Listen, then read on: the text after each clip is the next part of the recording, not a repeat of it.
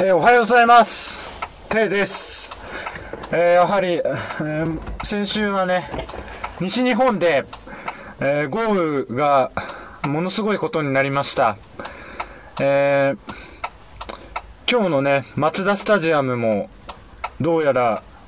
天気は悪くないと思うんですけど中止になるぐらいそれぐらい、え、大雨だったようでまあ、非常に大変な思いをされている方々がたくさんいます。えー、かかなりの方がね、いまだに避難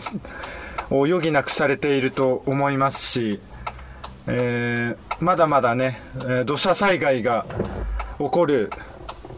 可能性がかなり残されているということで、えー、晴れていてもね、あの、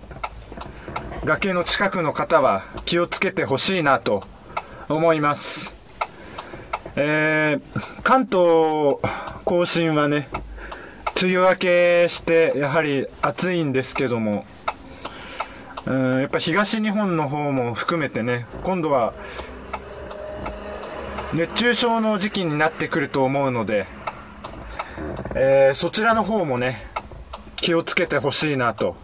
思います。こまめな水分補給だったりね。うんとにかく入れる時ならね休める時はなるべく